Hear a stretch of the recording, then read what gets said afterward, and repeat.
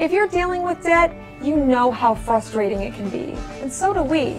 We're Family Credit Management, and over the past 20 years, our experts have helped thousands of families conquer their debt.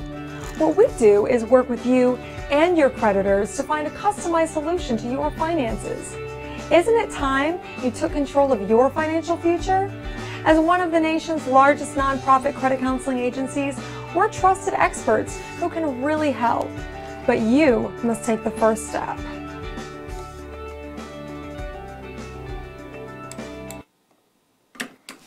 Hey, good evening. We are back again for another show. My name is Letitia Griffin, and I'm here today to talk to you about any types of issues or problems that you may be having dealing with your debt, dealing with finances, anything that you have like relating to your financial goals, your financial freedom. That's what I'm here for. So, for the next 25 to 30 minutes or so, feel free to give us a call with any questions that you may have. If you've got comments or um, tricks and tips that you want to share with us, feel free to do so. 312 738 1060. Now, if you do not get the opportunity to call in or perhaps you're a little shy, don't want to talk over, you know, the the um, show, that's fine. Always feel free to reach out to a counselor at 800-994-3328. Now, the great thing about it is that, you know, Family Credit has counselors on standby to answer your questions, your concerns, anything that you have regarding debt and finances. But they've also got a really great website that's got this online chat feature. You can go online, chat directly with a counselor. They can assist you, give you whatever type of advice, whatever you may need. The counselors are on standby to assist you. So use that as a resource. So in the next few minutes, uh, we just want to focus on today. I think we'll talk a little bit about, you know, credit myths and why that's important. So we'll talk about what some people believe, what some people think, things that you may come across. You want to know if it's true or not. That's what we're here for. So feel free to call in with those. Before we get started though, just want to, you know, keep in mind rates are on the rise. Interest rates are, the, are expected to increase next year. So it's the, right now it's the best time, the most important time to think about your finances.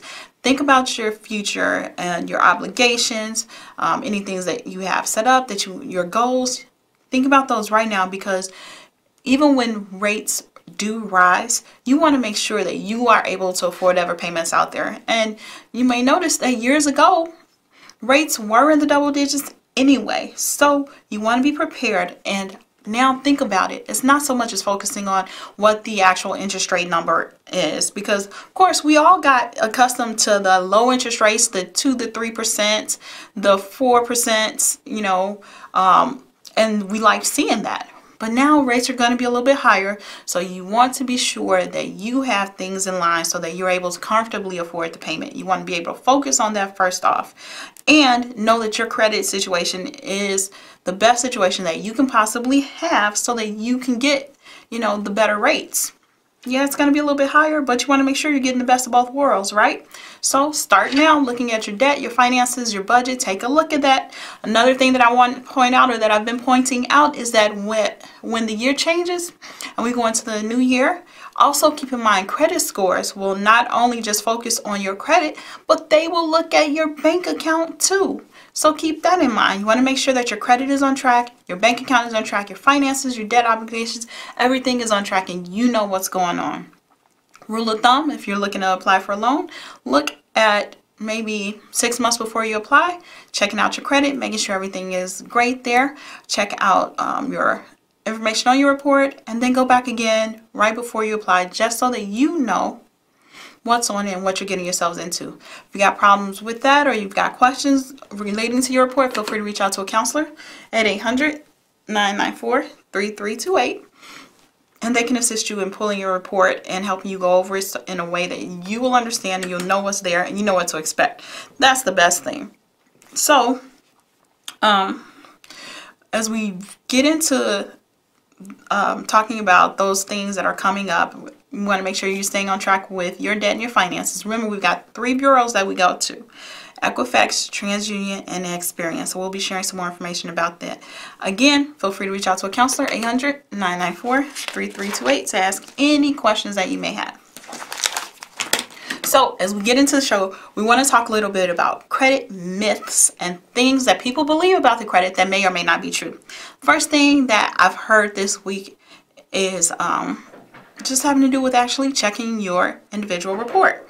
So, person came to and asked, okay, so if I check my own credit report, doesn't checking my credit report hurt my score? And so think about it. If you check your credit report, it does not hurt your score because you're actually checking it. And you're checking to make sure that things are on track, right? So when you're doing that, most likely you're looking at your bureau directly from the credit bureaus and it's getting an educational score. You're getting an educational view, a view that's meant to teach you. And it's also different from what lenders will see when they pull your credit report too. So it's actually will not hurt it if you pull it. But if you are looking to get credit from a bank, from a credit union, um, you're looking to finance a car, if you are looking to get credit from anyone, that's when it will affect your score. And that becomes an inquiry on your credit report. Now, there's a couple of different types of inquiries that we can talk about when we think about your credit report. There is something that's called a hard pull and a soft pull.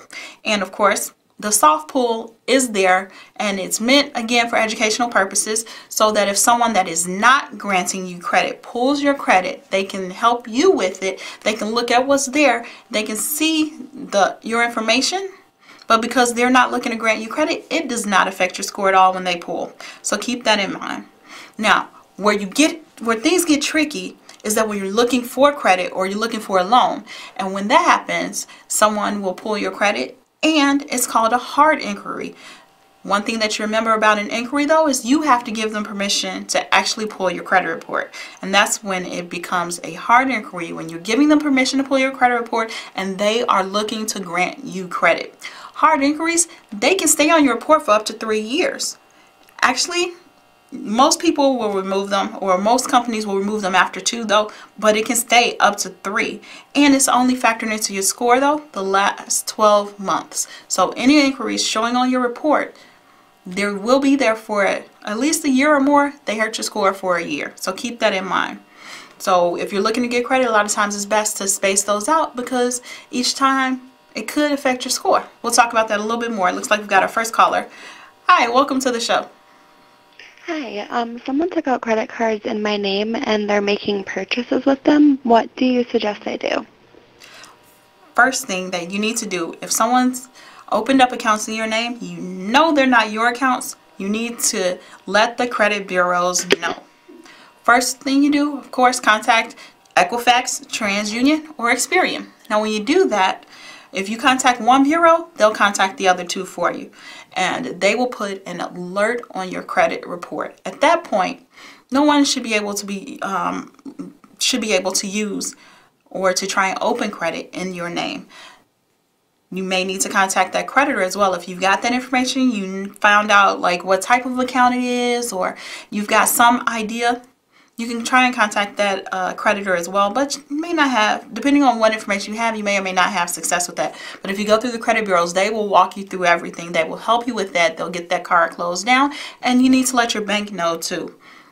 Also, after you do that, you will need to file a police report and once you do that, you file a police, report, you can go to your local law enforcement agency. Sometimes you can do it online, just depends on where you are. But you need that credit report so that you can submit that to the credit bureaus as well. And that will help block that information from hurting your credit report. Now, depending on what type of account it is, you do not want to be seen as being liable for that debt. So you do want to make sure that you follow up with them, that you know that account is closed out, You've notified the credit bureaus, you've gotten that police report, gotten that on file so that you're not held liable for it.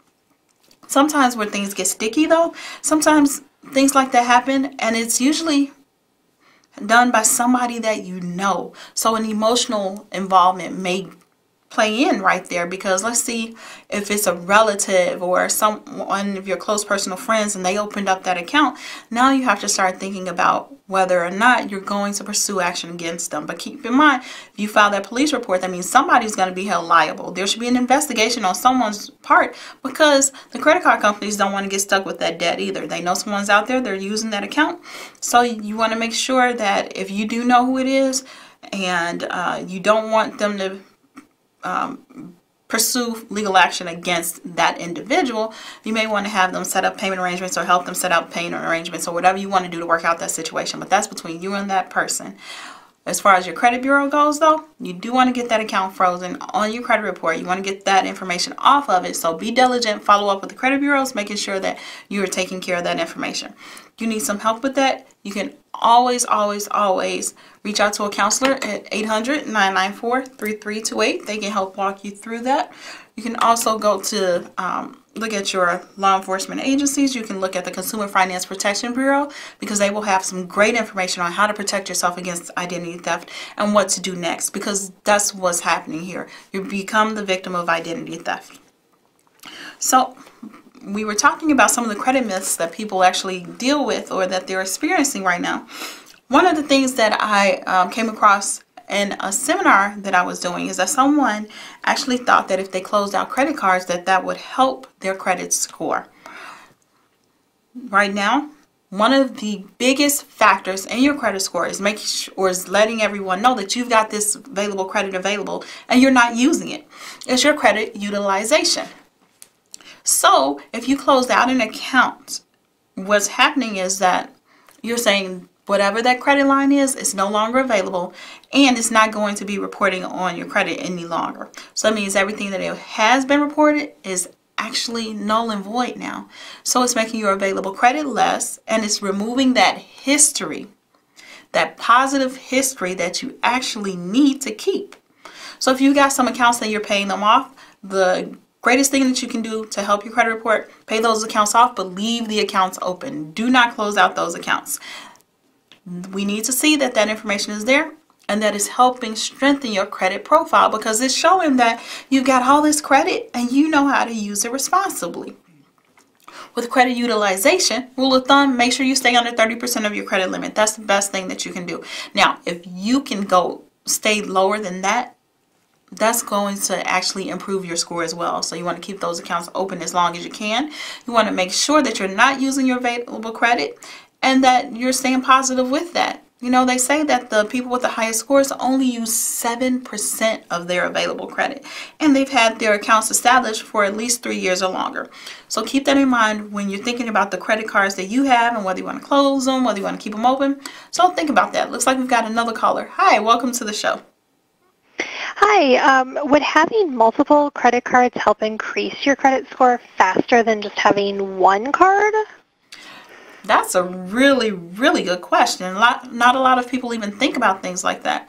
When you've got multiple credit cards, eh, or you're trying to decide whether you should have multiple credit cards or how you should handle your portfolio, the key is that you want to have a credit mix of everything that you could possibly think of, but you want to be able to handle it responsibly. You don't want to go over your limits and you don't want to have more than you can afford to pay for it in the course of a month.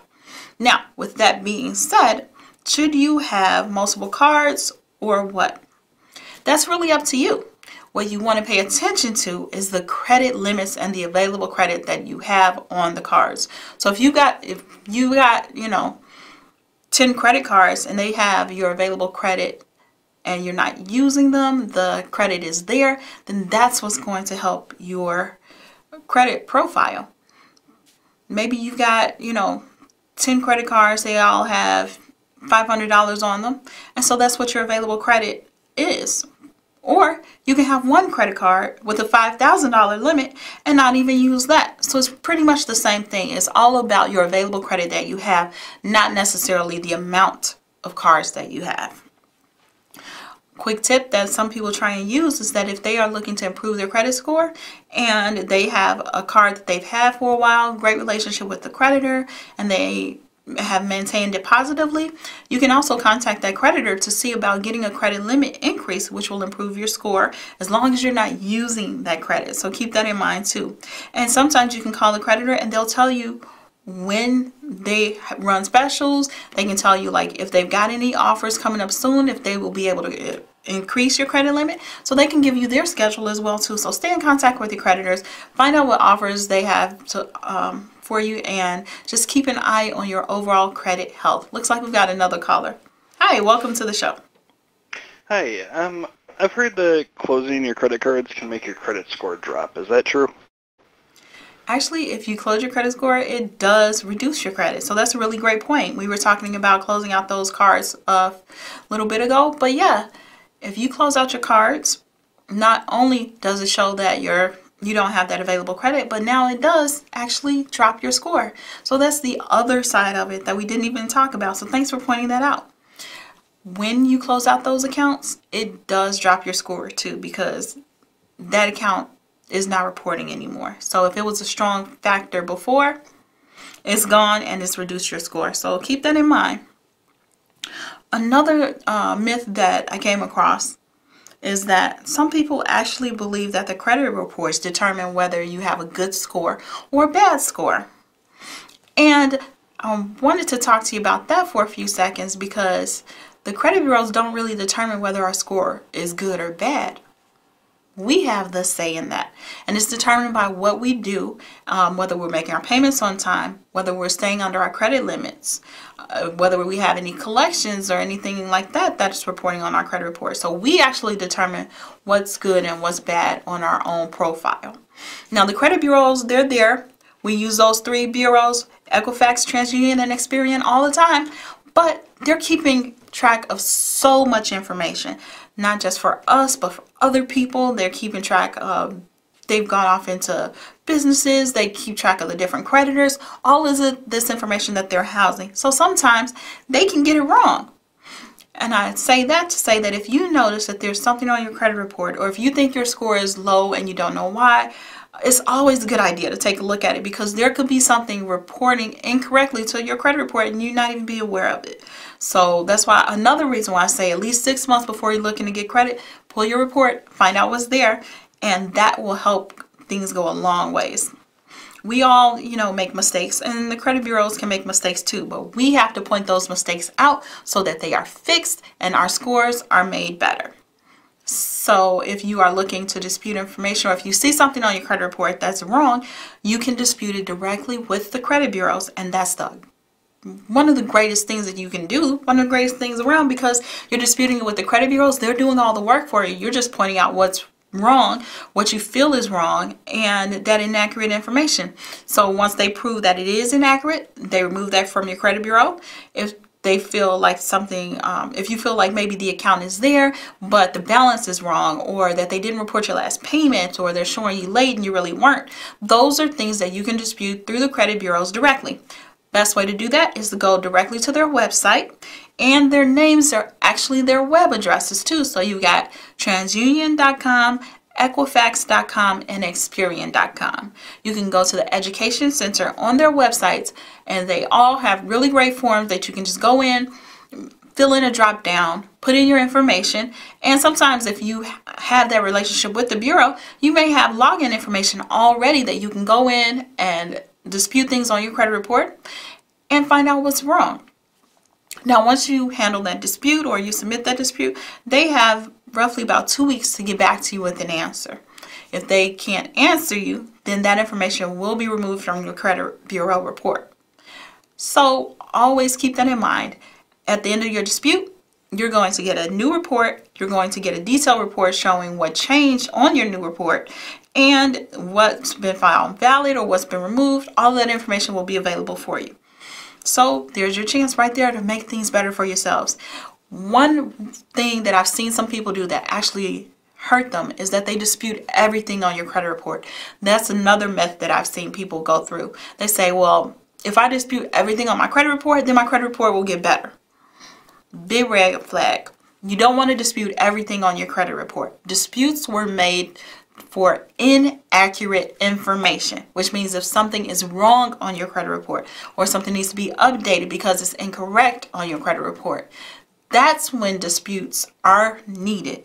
Now, while an item is in dispute, it's not factored into your credit score.